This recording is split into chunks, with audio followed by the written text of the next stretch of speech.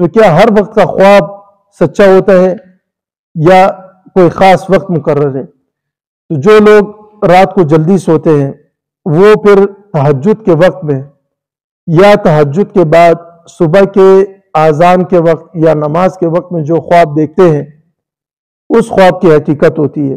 और उस ख्वाब की हकीकत भी उस वक्त होती है जिस वक्त उसकी ताबीर पूछी जाए। अगर ताबीर नहीं पूछी तो ताबीर न पूछने की वजह से वो ख्वाब अल्लाह के रसूल सल्लल्लाहु अलैहि वसल्लम ने फरमाया कि वो आसमानों में लटका रहता है, उसको गांठ लगी हुई होती है, जिस वक्त उसकी ताबीर पूछी जाती है, उसकी गांठ और डोर खुल जाती है, फिर वो अल्लाह के दरबार में मंजूर और कबूल हो जाता है।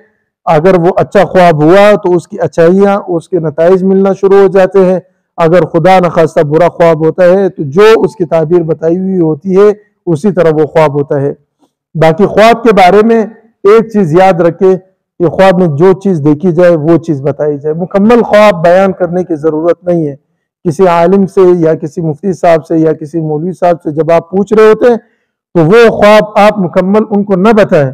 बस सूरज देखा है, सूरज बताया किसी हैवान को देखा हो, चाँद को देखा हो, सूरज को देखा हो, जिस तरह की यूसुफ सलाम ने फरमाया, इन्नी रायत अहद आशर कौकबा कि मैंने देखा है ख्वाब में ग्यारह सितारे हैं।